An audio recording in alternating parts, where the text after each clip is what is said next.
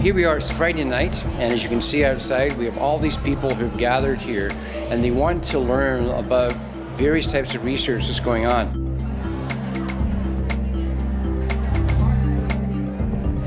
Now behind us we have a whole series of faculties, community partners sharing their research about what they do in the city. Everything from Foucault in the cities to renewable cities to washrooms that deal with transgender to affordable housing issues. It's pretty incredible. So often we work in an ivory tower where we research and develop papers that very few people read. And so it's important to engage the world, uh, share our research, and find out new ways to kind of disseminate our findings. Often people can think of universities as being insular, exclusive environments. Researching the city showcases that not only are we opening our doors to the wider community, but we're showing how the university has an impact on our communities too.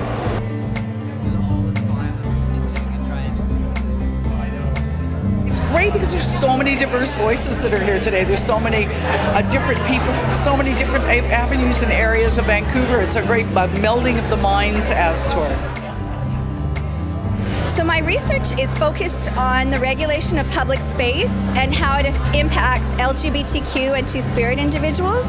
This is a great space. Uh, it's very informal and I, have got a lot of slides and people are just coming up and talking to me. I, I wanted to go paper-free today and I have a lot of visuals and uh, statistics and thought-provoking questions and images.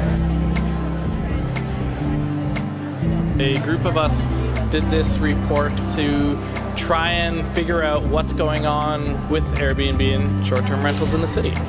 A lot of people actually talk to me about things that I had thought about before that this research and a lot of other research is very relevant to. After tonight, I see our research in a new light.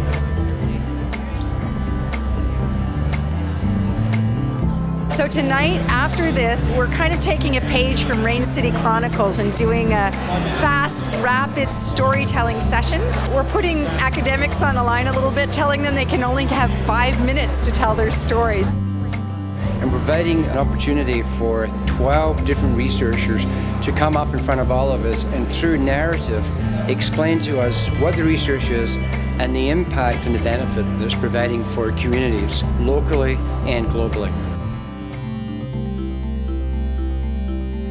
Some of the findings of the earlier report and whether and how people in the city of Vancouver um, felt about their abilities and capacities to connect to each other. We are very proud of what Public Square does here, and we are also about all the work being done by all the different faculties and programs down here to fulfill the mission of our university to be Canada's most engaged university.